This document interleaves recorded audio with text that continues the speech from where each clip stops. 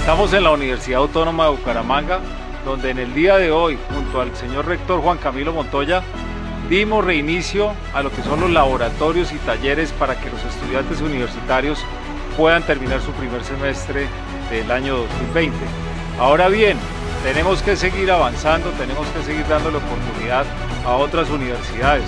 También contarles que hemos hecho revisión de los protocolos biosanitarios y puedo darles un parte de tranquilidad donde hay claramente medición de temperatura, se toma información de las personas que ingresan al campus, además gel para lavarse las manos, un distanciamiento adecuado de cada uno de los estudiantes.